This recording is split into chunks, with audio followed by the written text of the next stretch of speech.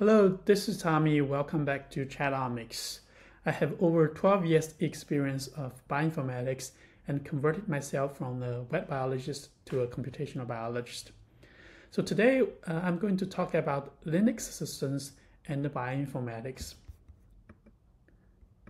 So first of all, why we want to talk about uh, different operating systems, Linux systems? Because understanding the systems is crucial for your research. And in this video, I'm going to explore the differences between Unix, Linux, different distributions of Linux, Mac OS, and different computer architectures to help you make informed decisions for your work. So to be honest, even after uh, 10 years uh, bioinformatics experience, I'm still a little bit confused what's the difference between um, different operating systems. Uh, so let's uh, dive in. The first thing is, uh, so what's the difference between Unix versus Linux, right? So Unix was born in 1970 at Bell Labs. So this is uh, really the oldest operating system. Think that as the grandfather of all the modern operating system. And Linux, which was created relatively recently, like in 1991 by Linus. And this is like Unix, but uh, it is actually um, more like open source and adaptable and it's empowering most of the world's uh, supercomputers and servers nowadays. So Unix is proprietary and Linux is free and community driven. So next, let's understand uh, Linux distributions, right? So distribu distributions are like different recipes. So using the same main ingredients, the Linux kernel. For example, Ubuntu uh, is one of the uh, Linux distributions. And it is also like it is sometimes also is called Debian based uh, uh, Linux distributions. It's very easy to approach and great for beginners in, for bioinformatics. And you also, on the other hand, you also have the Red Hat Enterprise Linux. Um, so sometimes people just say uh, Red Hat. So this is more like a business suit, so more formal, reliable, and security focused. Okay, so each distribution packages and the Linux kernel with different with different tools and the interface, right? And the catering to specific needs in research and development. So if you just Google uh, Linux distributions and you will find the wiki page, and you will see there are like hundreds, thousands of like different distributions, and you can just browse through the the lineage tree and see okay which one is was first and which one was actually later. Okay, so a little bit deep dive for Ubuntu. Okay, Ubuntu, as I said, is Debian based. It shines in bioinformatics for uh, several reasons. So it offers a massive software repository and making it really easy to install tools like Blast, Bowtie, which are commonly used bioinformatics tools. And it's very user friendly and uh, the interface, and you can actually focus on analyzing your data. And my first actually Unix system operating system actually was Ubuntu actually installed in my uh, Windows machine. I had a dual booting system. And if you actually walk with Ubuntu, then you, you, recognize those are the commands that you use to install packages like sudo apt install or sudo apt upgrade. So on the other hand, the Red, Red Hat Enterprise Linux, for example, you have like CentOS or Fedora, those are the choices for uh, many research institutions, for example, those uh, high performance uh, computing clusters, right? So they, so uh, again, you have to pay for them, okay? But those systems are enterprise level, so they excel in production environment and the consistency is crucial. So uh, if you're running large scale genomic pipelines or maintaining biomedical databases, you probably use um, the Red Hat operating system. And you use actually uh, this DNF or yum uh, commands to uh, install packages. Okay. Okay, uh, lastly, uh, Mac OS. Okay, Mac OS, so we all know that. So if you have a Mac, then you're using the Mac operating system. So it provides a unique blend, the sleek Apple interface with Unix power underneath, right? It's built on the BSD, Berkeley Software Distribution Unix, and offers a terminal very much like a Linux system, right? So you it has a built-in terminal so you can use. That's why actually I am using Mac MacBook Pro Pro because it has this built-in terminal that is very uh, similar to other uh, Linux operating systems.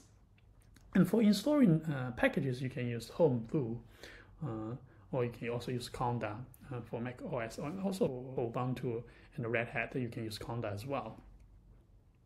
And however, just mm, a note that although it looks very similar and in terms of the interface and some even the commands are very similar in Mac, for example, the regular cat commands and the sed commands, those are uh, core uh, GNU uh, utilities, for example, but they actually may behave a little bit different. The options may be a little bit different, for example. So you can use Brew to install the GNU version of the core utilities and in Mac, and it will be actually prefixed by the G. So G stands for GNU. So so the the commands will become a gcat instead of cat, but then they will behave exactly the same as the GNU utilities.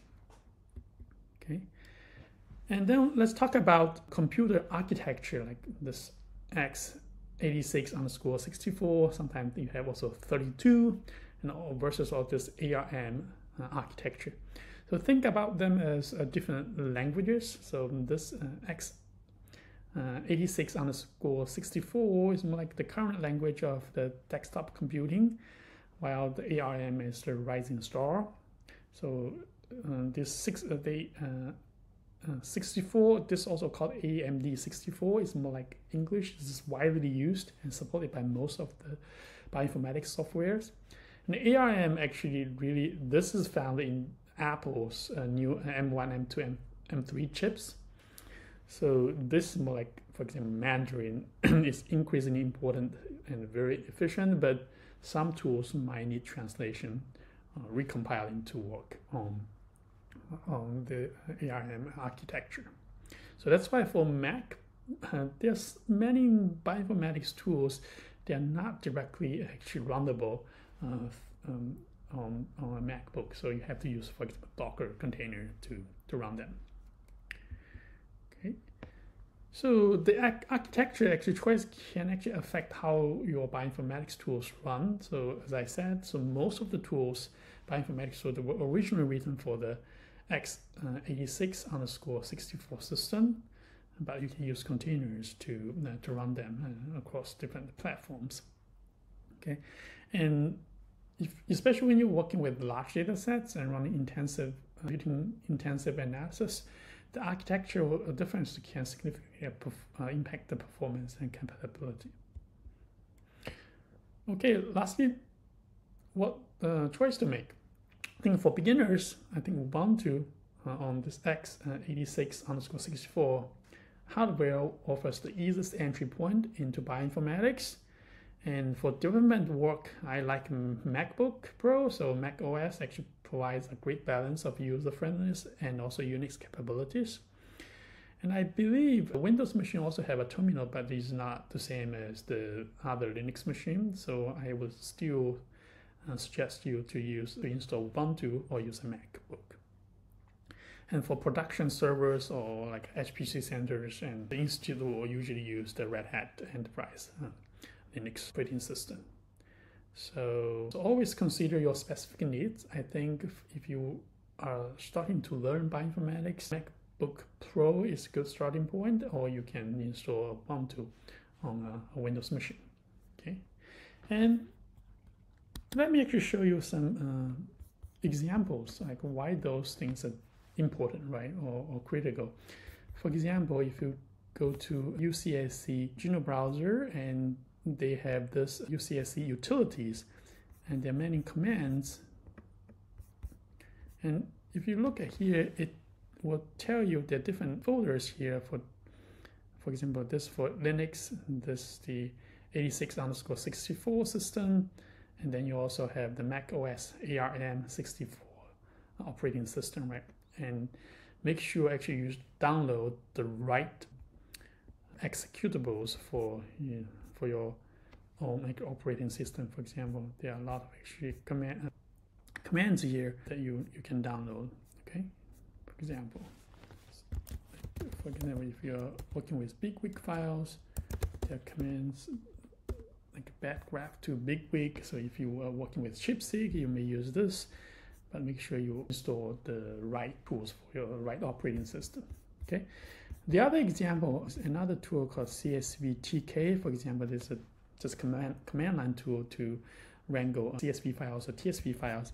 And if you go to the download page, then you will see, okay, it also gives you different links for different executables.